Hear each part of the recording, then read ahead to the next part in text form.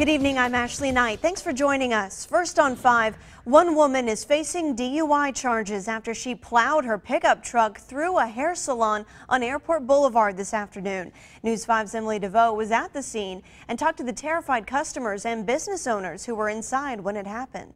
A crowd of people outside the Unicut hair design on Airport could not believe what they saw. I never thought I'd get ran over by a truck in a haircut place. Kyler Leisure, his older siblings, and their dad were inside the salon when this woman, 51-year-old Karen Eanes, plowed through the front window. I was sitting in the chair over there and I got flung across the room and next thing I know I got up and ran out of the building. Surprisingly, he only has a few scratches, but this could have been a lot worse. It's miraculous that we only had uh, minor injuries involving this. No one was transported, but it could have easily been a deadly situation.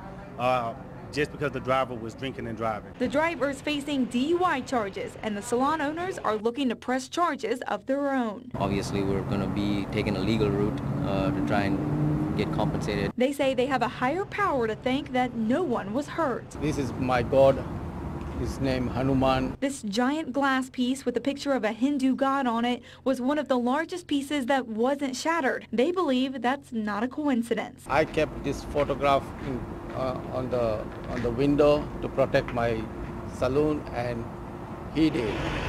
There's a lot to clean up after the truck's towed away. A bumper sticker on the back of it sums up the whole situation in a single sentence. It took me a second to process there's a freaking F-150 in the hair salon. But one sentence isn't enough for these kids to tell their story of a trip to the hair salon they won't forget. Coming in, I don't remember it hitting. I was just li listening to music on my phone, and then next thing I know, the music was just in, and then I flew across the room, and then I got up, and I was like, what happened to my music? And luckily, they're all alive and safe to tell it as many times as they want.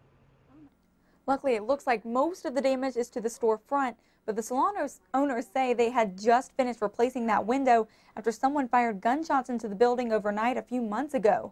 As of right now, the only charge against the driver, Karen Eanes, is DUI. Live in the newsroom, Emily DeVoe, News 5.